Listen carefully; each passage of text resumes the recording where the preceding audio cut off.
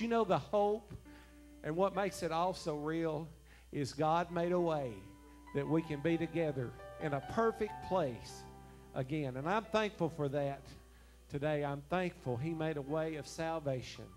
And He loved me enough that He gave His life that I might have life. And that those who are saved and born again can meet again on yonder shore. Aren't you thankful for that? This song talks about a great Hallelujah Square.